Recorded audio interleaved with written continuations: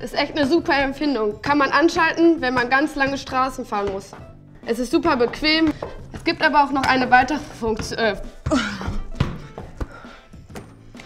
Ah, gar nicht so leicht.